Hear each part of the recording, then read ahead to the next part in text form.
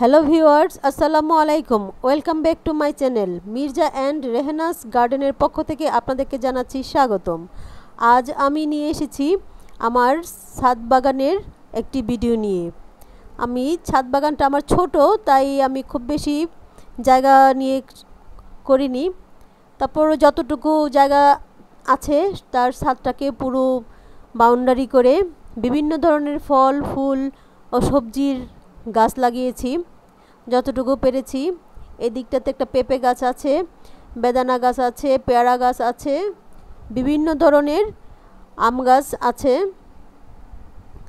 মোটামুটি সব ধরনের ফলের গাছ লাগানোর চেষ্টা করেছি। ওই পাশটাতে একটা কলা গাছও লাগিয়েছি। আর মাচার মতো করে দিয়েছি, এখানে বিভিন্ন ধরনের সবজি গাছ লাগিয়েছি।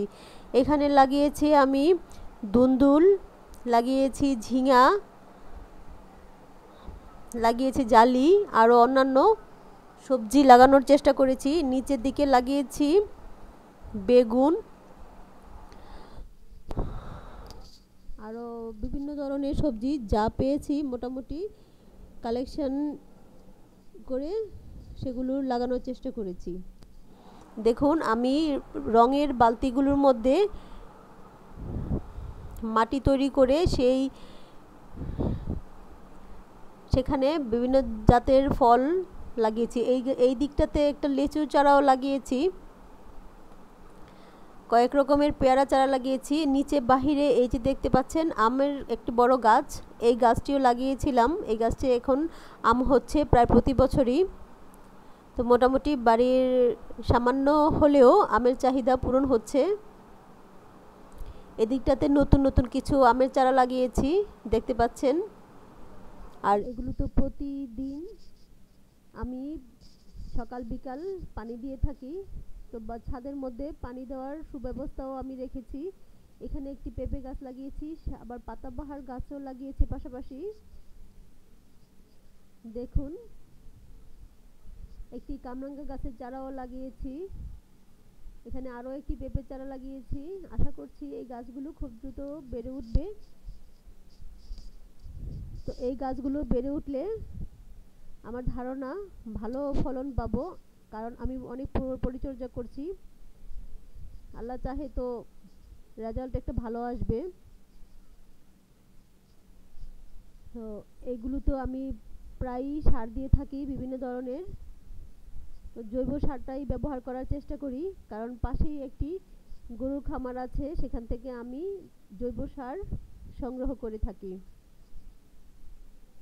তো আমার এই বাগানটি যদি আপনাদের ভালো লাগে, অবশ্যই কমেন্টস বক্সে জানাবেন। আর বাগানের উদ্দেশ্যে যদি আরও কিছু অ্যাডভাইস থাকে, সেটাও কমেন্ট বক্সে জানাবেন। আর আমার চ্যানেলটি যারা এখনও পর্যন্ত সাবস্ক্রাইব করেননি, আপনাদেরকে অনুরোধ করছি, আমার চ্যানেলটি সাবস্ক্রাইব করবেন।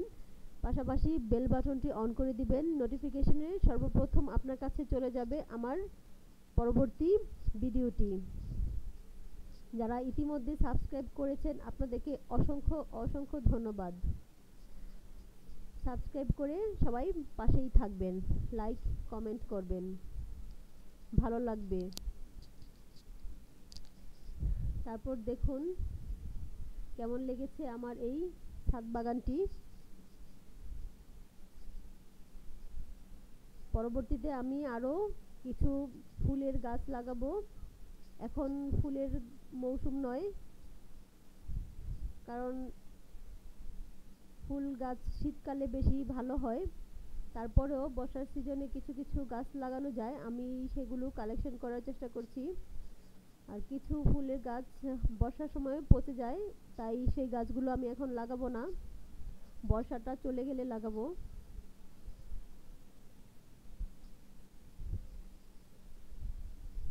আশা করছি আমার এই সবগুলো গাছ পাশাপাশি সময়ে বেড়ে উঠবে। সবগুলো আমের চারা প্রায় একই বয়সী। এই আমের চারাগুলো একই সাথে বড় হলে আশা করছি ভালো একটা রেজাল্ট আসবে, তাই পরিচর্যা করছি। আর বিভিন্ন ধরনের ফলের চারা কালেকশন করার চেষ্টা করছি। এখানে কমলার চারা লাগিয়েছি, আনার এর চারাও লাগিয়েছি। তো আজ এ পর্যন্তই। পরবর্তীতে আবার নতুন কোনো ভিডিও নিয়ে হাজির হব আপনাদের কাছে। তো আল্লাহ হাফেজ।